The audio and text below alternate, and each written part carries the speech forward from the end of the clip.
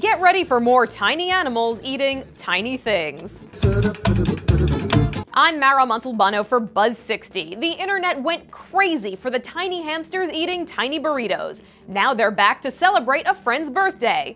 But this video is really a gift to all of us. Tiny Birthday for a Tiny Hedgehog is the latest video on comedy channel Hello Denizen, where another nervous chef makes more miniature food for a furry palate. To avoid any claims of animal cruelty, the creator said the cake was hamster and hedgie friendly. It was made out of bananas and sugar-free applesauce, and the frosting is just yogurt and rice flour dyed with beet juice. Hedgehogs are gluten free? Who knew? And just like with the tiny burritos, these hoglets go to town. If I'm not mistaken, there seems to be a fiesta theme to this party. So where are the tiny margaritas? It looks like the hedgehog has been drinking something.